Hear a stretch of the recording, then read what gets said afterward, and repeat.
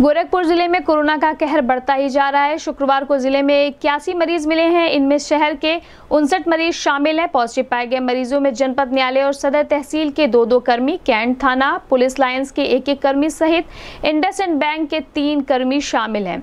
इसके बाद ज़िले में मरीजों की संख्या एक हज़ार चार सौ तीस हो गई है।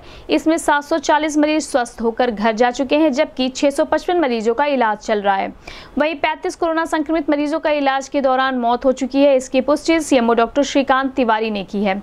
आपको बता दें, जनपद न्यायालय के दो कर्मी शुक्रवार को पॉजिटिव मिले हैं। एक दिन पूर्व ही एक न्यायिक अधिकारी की पत्नी भी संक्रमित मिल चुकी है। इसके अलावा इंडस बैंक के तीन कर्मी भी संक्रमित मिले हैं।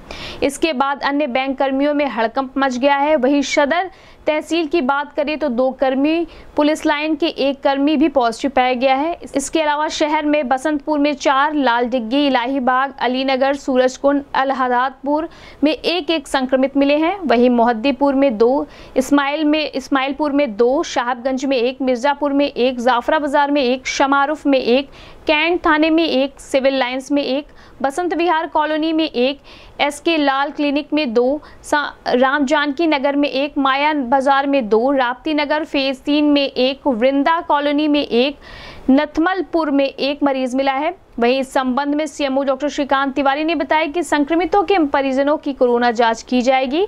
इलाके सील करने के साथ सैनिटाइज के निर्देश दिए गए हैं। संक्रमितों के संपर्क में आने वाले लोगों की तलाश शुरू कर दी गई है।